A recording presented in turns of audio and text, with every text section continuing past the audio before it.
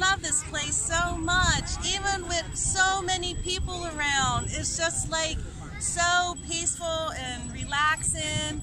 And it feels just amazing to be in over 5,000 year old city, the oldest city in the world. And it's great seeing the people getting ready for their rebirth again and just seeing the traditions of the Hindus that's been intact for thousands and thousands of years. So I just love the Hindus. I love the Hindu culture. It's just so fascinating seeing that they kept all these rituals intact and hopefully it'll stay intact for another 5,000 years because this place is just amazing and India is amazing. I love India so much.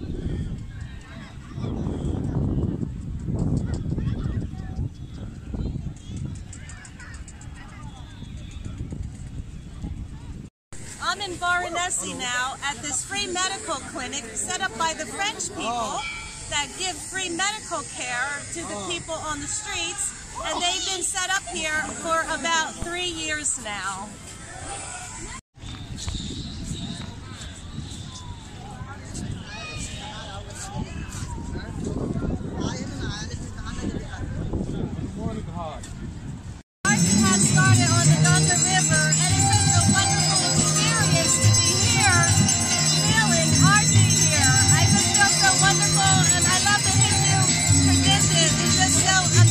And this is so awesome. Just a wonderful experience.